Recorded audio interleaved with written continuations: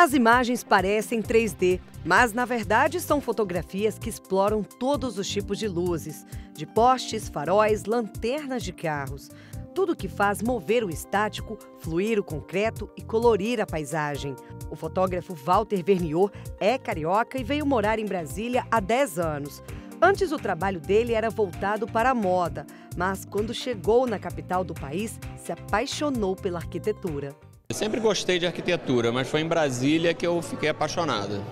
E aí deu aquela vontade de fotografar, sair um pouco do, da moda e arquitetura respirar isso aí o mês inteiro de outubro.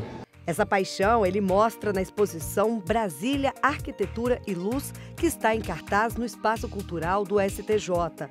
Ela reúne 42 fotos que foram tiradas no ano passado, durante a campanha Outubro Rosa, quando prédios da capital são iluminados. Eu já gostava do ano inteiro de ver as obras, ver os prédios, mas foi em outubro que tudo ficou iluminado, né, por, por causa da campanha e que realmente extrapolou. Eu falei, não, agora tem que fotografar.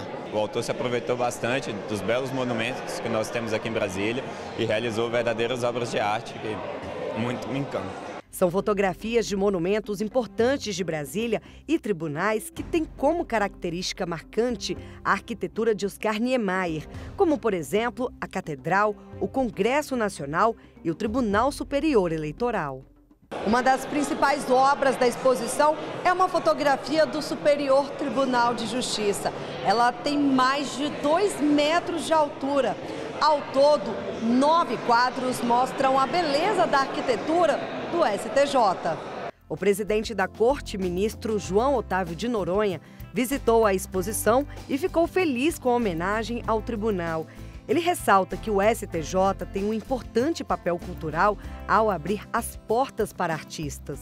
O STJ tem aqui um centro de exposição de fazer inveja a qualquer órgão público. O STJ é um centro de cultura, de cultura jurídica e aqui também um lugar destinado aos vocacionados da arte a exporem suas, suas obras. A servidora Ana Paula Patrus mora há pouco tempo em Brasília e viu na exposição a oportunidade de conhecer mais um pouco das belezas da cidade.